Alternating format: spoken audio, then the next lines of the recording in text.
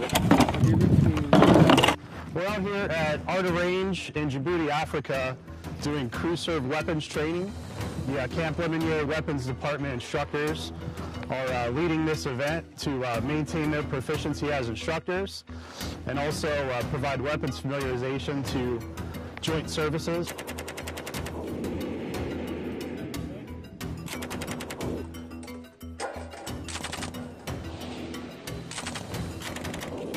We have uh, team members out here today from uh, the Navy side, the Camp Lemonnier, the Maritime Security Squadron, Air Force, Army, and uh, Navy medics.